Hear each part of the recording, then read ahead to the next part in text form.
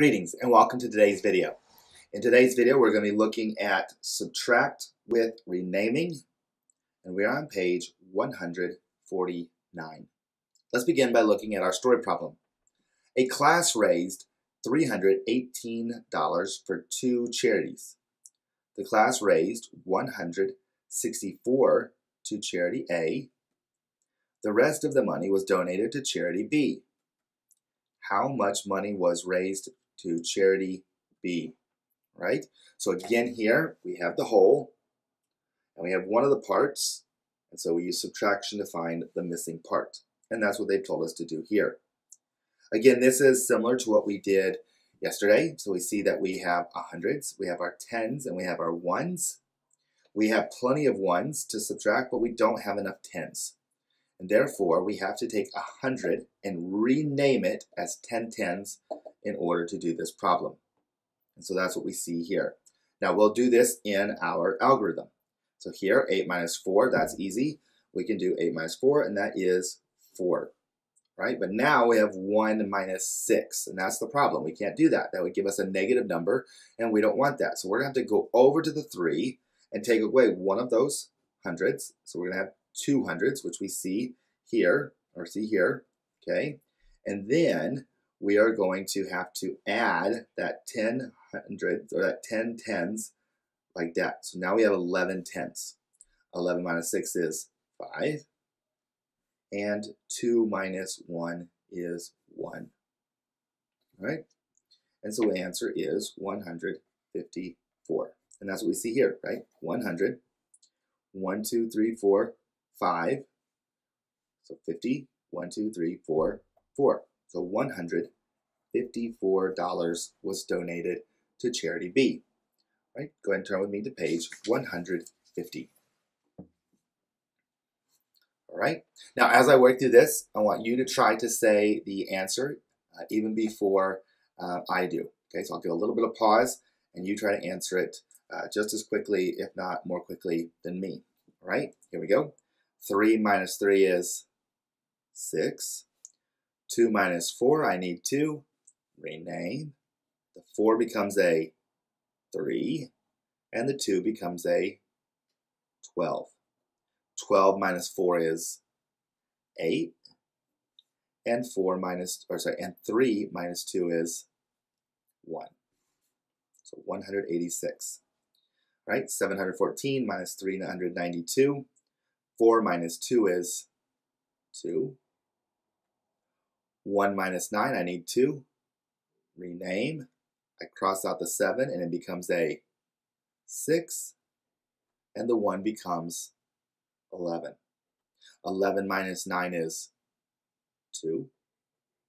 6 minus 3 is 3. 1 minus 0 is 1.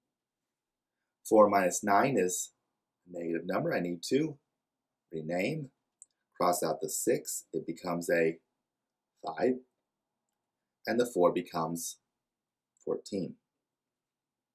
14 minus 9 is 5, and 5 minus 1 is 4. 8 minus 5 is 3. 0 minus 2 is, yeah, you're right, I need to rename.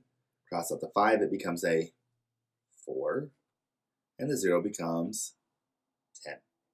10 minus 2 is 8. 4 minus 4 is 0. Okay? And I don't actually need to put that 0. All right? Okay, that comes now to the time of practice on your own. So take some time to do these. Uh, do your best to do them independently. If you need some support from an adult, that's okay, but do your best to do it as much as you can on your own. Uh, when you're done, come on back and we will review them together. Go ahead and pause now. All right, very good. So hopefully you have these finished. And so now we will work on these together, right? Uh, so I have to stack these very neatly. So 738 minus 343. Here we go. 8 minus 3 is 5. Try to say it before me. 3 minus 4 is, it's a negative, so I need to regroup. cross out the 7, it becomes a 6, and the 3 becomes 13.